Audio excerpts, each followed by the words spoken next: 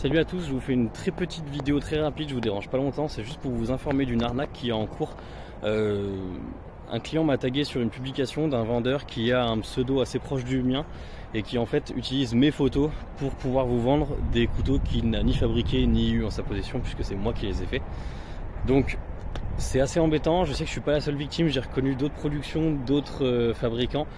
Euh, du coup, je vais avoir besoin de votre aide pour essayer de stopper ça et de faire en sorte que Facebook prenne euh, une décision ou au moins agisse contre euh, ce malfaiteur. Le but c'est vraiment d'éviter qu'il y ait d'autres victimes, d'autres couteliers qui se fassent voler leur travail et surtout d'autres personnes qui pensent acheter un joli couteau et qui finalement bah, se fassent voler leur argent. Ça va être très simple, ça va vraiment vous demander 30 secondes, je vais vous laisser juste cliquer sur le lien qu'il y a dans la description, ça vous mènera à un post Facebook que j'ai fait.